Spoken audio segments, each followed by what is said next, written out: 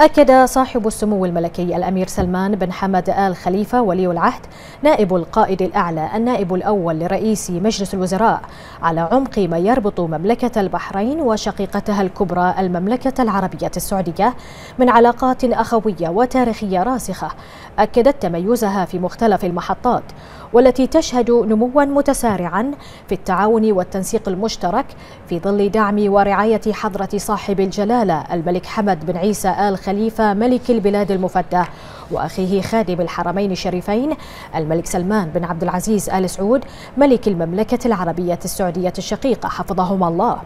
منوها سموه بما يحرص عليه البلدان من تعاون مستمر في مجالات حيوية ومهمة تجسد تطلعاتهما التنموية.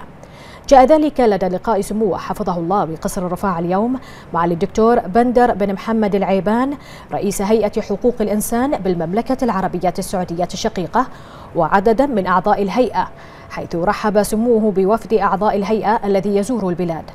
وأشار سموه إلى أن مجالات حقوق الإنسان وحماية العمالة تمثل جوانب مهمة وتوجها دوليا وأمميا نحو تكريسها. لافتا سموه إلى ما تحظى به هذه القطاعات من اهتمام وافر لدى كلا البلدين الشقيقين خاصة مع ما قامت به من جهود وما قطعته من أشواط كبيرة على هذه الصعد. وتطرق سموه حفظه الله مع وفد هيئة حقوق الإنسان السعودية إلى الجهود الحثيثة التي قامت بها مملكة البحرين باستحداث البرامج والقوانين التي تسهم في الحفاظ على الحقوق العمالية. من جانبه أعرب معالي الدكتور بندر بن محمد العيبان عن شكره وتقديره لصاحب السمو الملكي ولي العهد نائب القائد الأعلى النائب الأول لرئيس مجلس الوزراء على ما يوليه سموه من اهتمام في تعزيز علاقات التعاون الثنائي بين البلدين والشعبين الشقيقين.